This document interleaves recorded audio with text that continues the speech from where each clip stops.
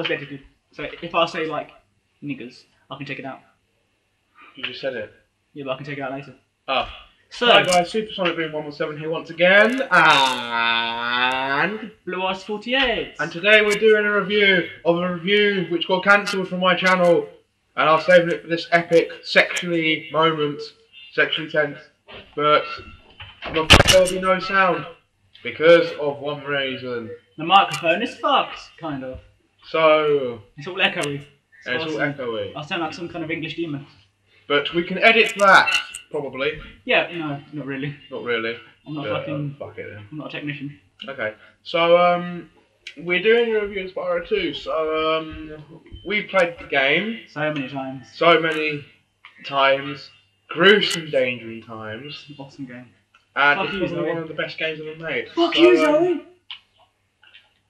Obviously, we just skip this shit. She used to piss me off a lot. this game is my favourite Spyro game. Now, I have many reasons which I'll explain.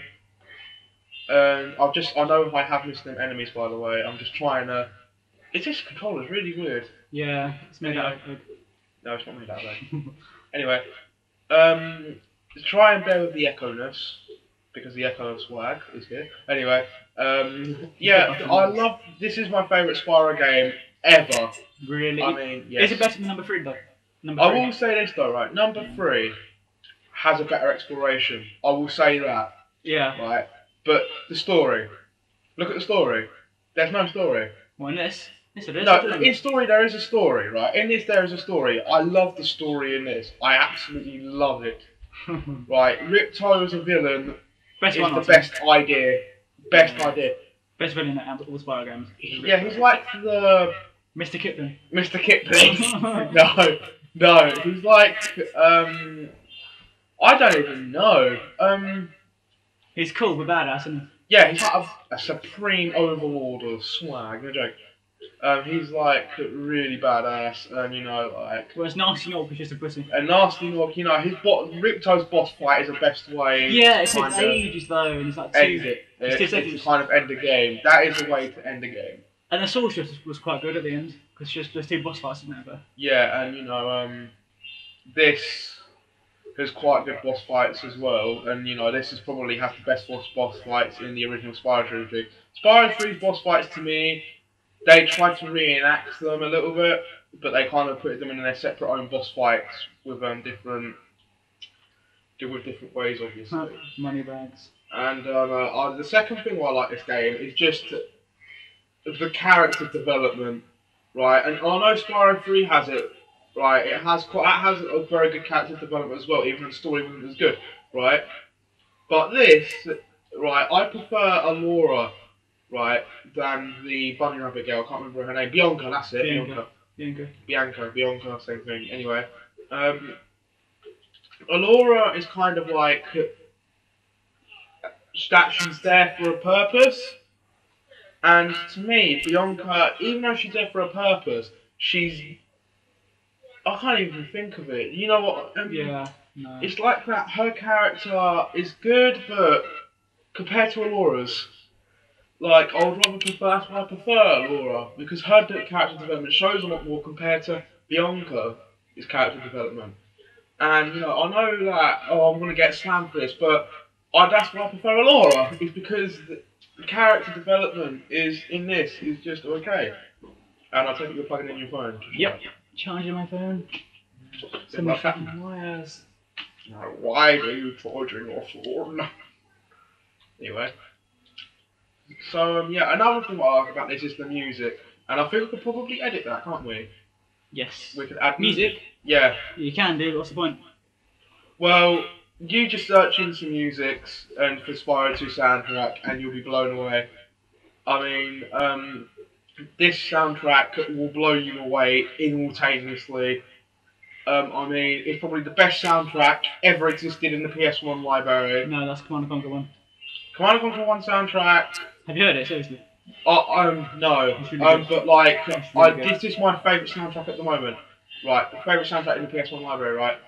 Stewart Copeland poured his heart and soul into the soundtrack in this, right? The, the music in the first Spyro game, right? I'll have to say this, right? The reason why I prefer Spyro 2 and Spyro 3 is because of the soundtrack. right? Spyro 1 soundtrack was a hit or a miss thing, right? Mm-hmm. Spyro. Spyro 3 soundtrack was good, right?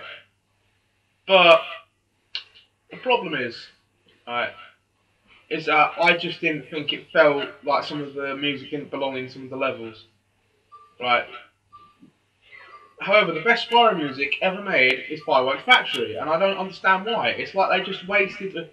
It's like you just played the whole Fireworks Factory sound music, and just see what happens. You know. Um, will this video be uploaded on my channel? I don't even know. Both.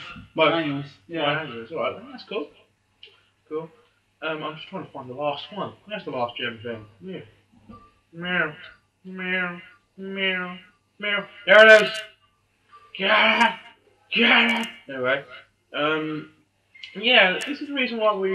This that's my reasons why I kind of like it. What's the reason what you why you hate it? Well, this I don't hate it We don't hate it. What's the reason why you prefer Spyro 3 more than Spyro 2?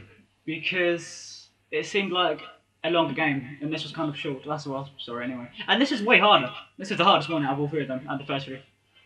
But don't you think that if you have challenging games, right? If you have hmm. challenging games, Yeah.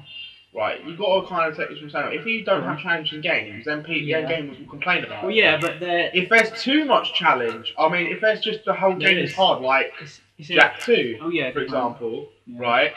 Then the gamers were gonna hate that because It's impossible because it's going to be impossible to do. The same with um, what game is it?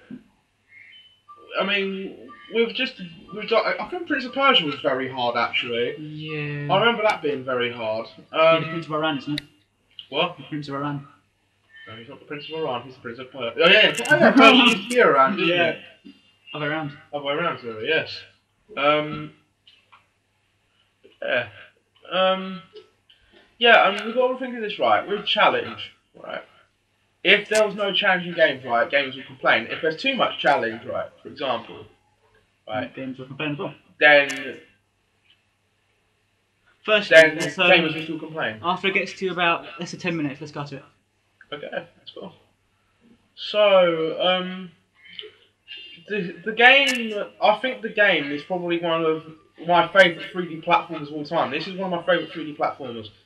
I mean, I did do a list of my top 10 of my top 10 3D platformers. And I said, and I said Spiral Warrior 2 was my favourite one of all time. Right, I kind of take that back. Right, my favourite 3D platform of all time right, is actually Sly 2. It actually is Sly 2. Two is fucking awesome. Right. The reason why I prefer Sly 2 more than Spyro 2 is because of the variety. Right. And I know Spyro 3 had variety, don't get me wrong. Spyro 3 had tons and tons of variety, don't get me wrong. I'll just go to this thing and I'll go into some forest, but. Spyro 3 had tons and tons of variety, but I think there was some bits which I think was unnecessary. Like, do we really need to have a playable Yeti, No, Bentley, Bentley the Yeti, and did we really need to have all them over Sheila, the kangaroo, She- Sergeant Byrd. Sergeant Byrd, Agent Nine. exactly, Agent 9. And why would you want to play Sparx? Oh yeah. Sparx is just there because he's just there. Exactly. Why would we need to play Spark? There's not even a big backstory behind him until the Legend, the Spyro series, which is technically a reboot. Yep. So.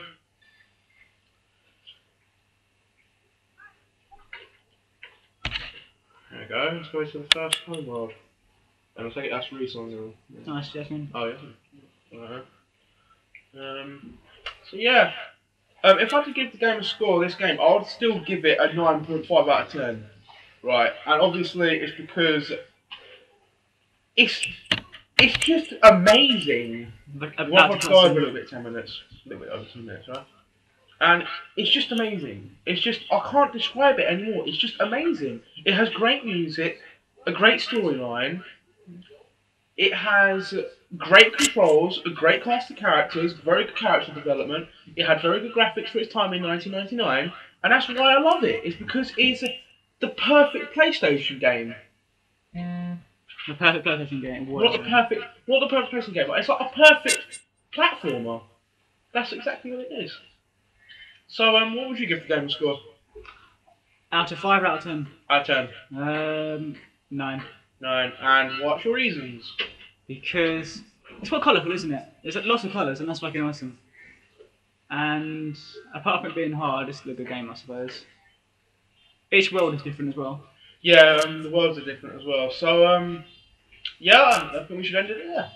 Yep. We've just given our reasons why we like Spyro. why I like, well, technically, a review dash why I like Spyro 2 more than Spyro 3. And, uh, Luke, thanks for joining obviously. Mm-hmm. Bye bye.